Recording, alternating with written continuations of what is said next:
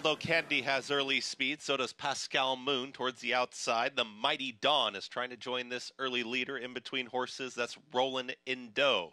It's at the rail, Caldo Candy, who secures the front end. The Mighty Dawn with mild pressure. The big long shot is here in second. Just waiting for some room. Taken back. Now tips towards the outside is Rollin Dough. Gets passed by Friday. I'm in love, who's now going to claim that third spot with less than a half mile to go. Just behind them, that's Pascal Moon, who's in the fifth spot.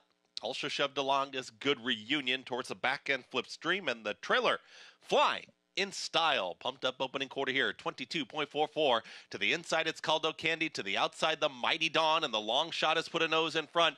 The Mighty Dawn right in behind them. Friday, I'm in love. Blue cap, green silks needs somewhere to go. Dives down towards the inside. Now is going to tip towards the outside as Caldo Candy is going to hold that rail spot.